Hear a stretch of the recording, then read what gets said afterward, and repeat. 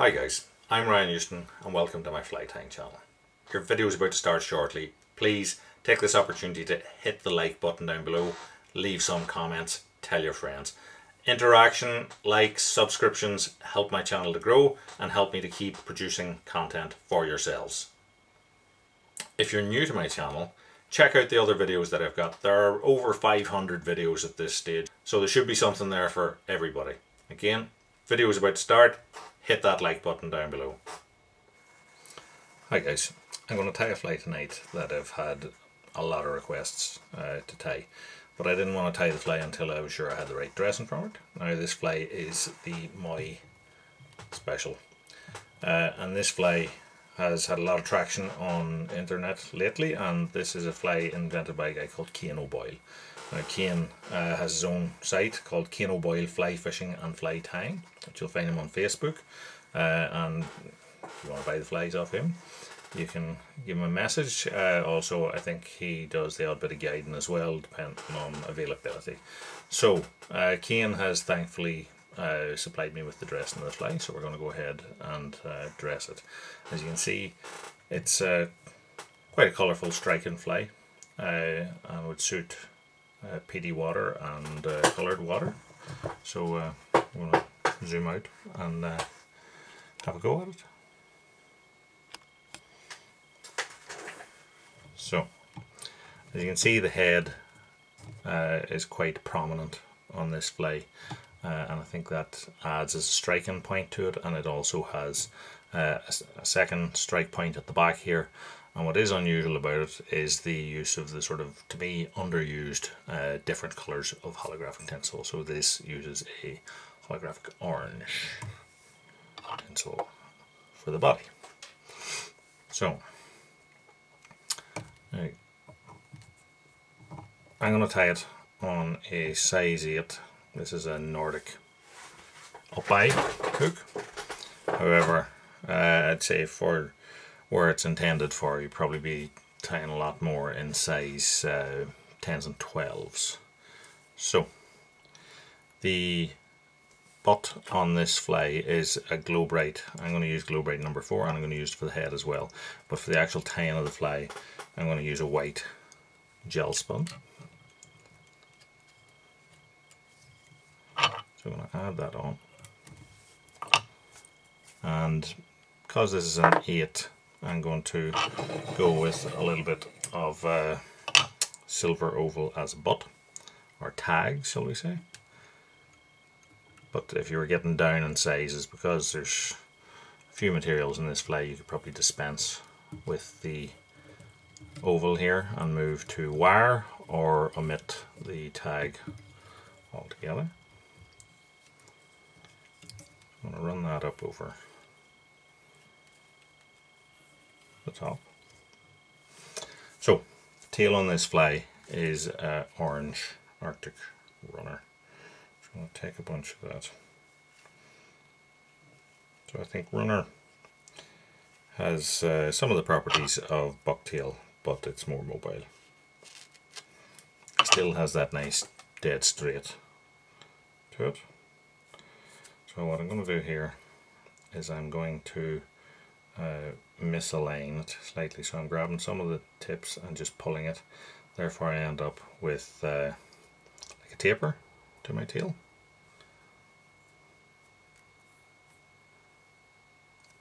A bit much in there so I'm just going to strip a little bit away.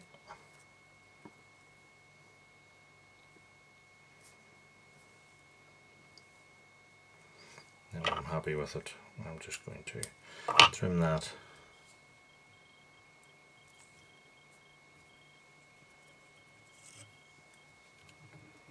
add it to the top and hold it in place. So, a uh, little bit of uh, pearl mirror flash or crinkle mirage use here. One strand, double it back over itself, hold it up on top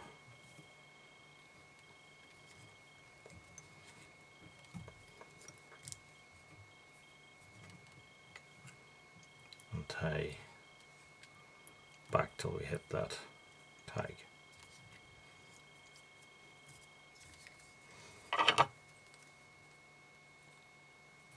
Trim that strand off. So I'm going to take my white thread here to the front.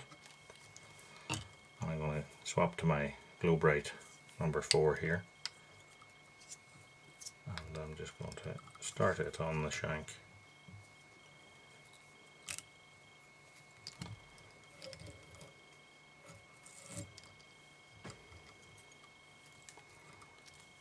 create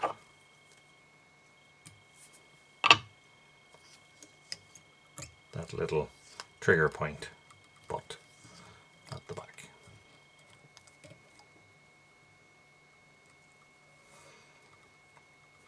So just take that up the body just to get it tied off.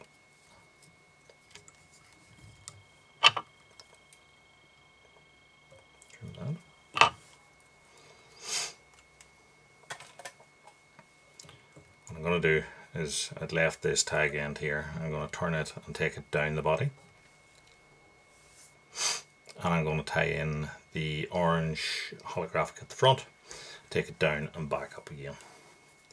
So, but to make our butt here more durable, I'm just going to run a bit of clear varnish over that.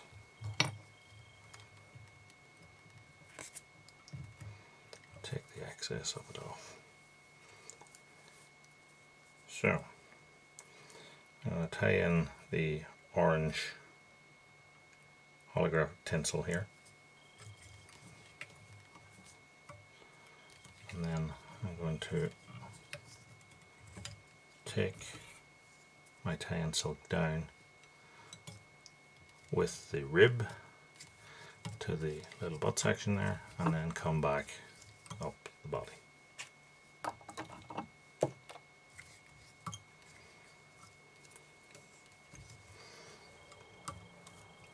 Then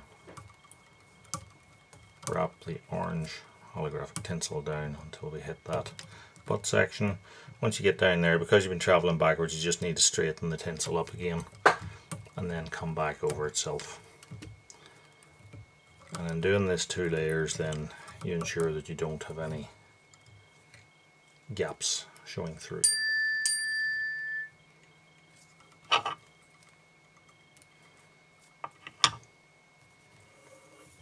And then we rib the body with the oval silver tinsel.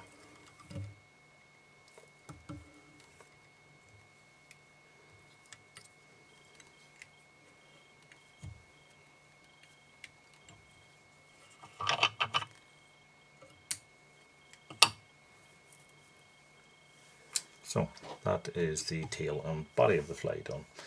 So the wing of this uh, fly is in a couple of different portions.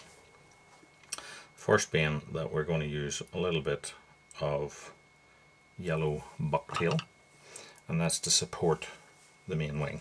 So I'm just going to take a few strands of this. You don't want to take too much otherwise you'll end up quite bulky and we're just going to take a few strands of that and measure it down until it's around about half, meeting around about half the way down the tail. Transfer over, pinch loop and tie that down. Trim that off and tighten that tie in up. And then we're going to put a little bit of uh, angel hair in here. So pearl or this is a slightly slightly yellow tinted pearl. So I'm going to measure it back till it's the same length as the uh, bucktail. And fold it back. There's only a few strands there. But that'll just give that pearly accent within the wing. So Main wing then, I'm going to use uh, a dyed yellow uh, Shadow Fox. Arctic Fox, whatever you want to call it. I think fox masks give you the best quality hair for these types of, of wings. So we take our little bunch. I'm going to measure it up top there, transfer hands, trim, trim that up.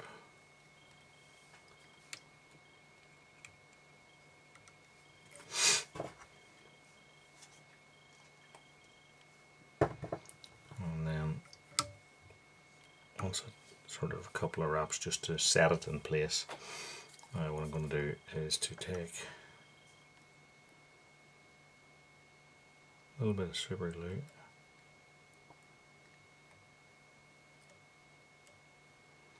Just run it on about two centimeters of the tie-in thread and wrap over those tie-in points.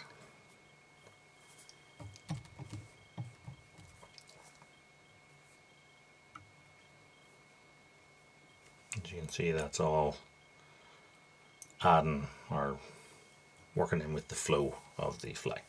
So, uh, I've seen him tie this uh, fly without jungle cock and with jungle cock. So we're going to put jungle cock on here.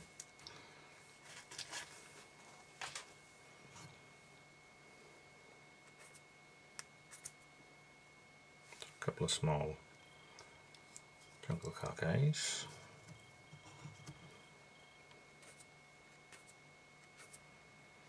one for each side just match them up for length hold them in place and tighten down onto that.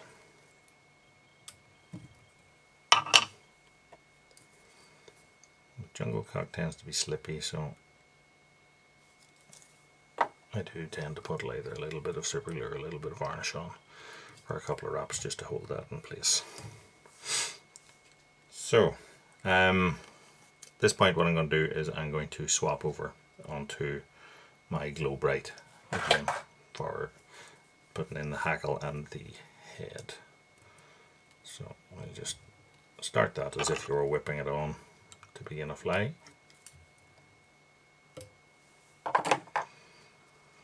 And to finish this fly what we need to do is put on an orange badger hackle. So I've doubled the hackle here I have videos on doubling uh, in my techniques section if you want to have a more in-depth look at doubling a hackle. I'll look there. So tied in by its tip.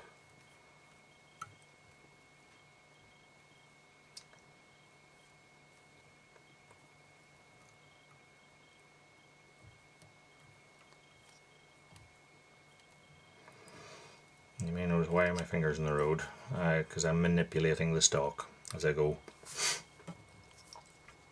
to make it lay the way I want rather than it all laying straight back or all sticking straight out, whichever it chooses to do of its own accord. So I'm just rotating the uh, orientation of the stalk as I go. So once that's tied off, it's a matter of creating either as big or as small a head as you feel like.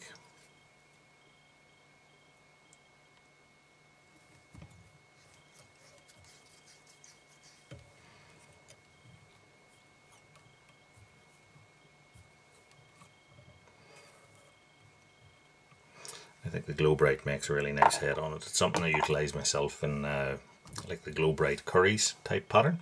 I think it really sets it off, makes it pop in that sort of water. So I'm just going to take a little bit of super glue here and just set or varnish the, the head with that.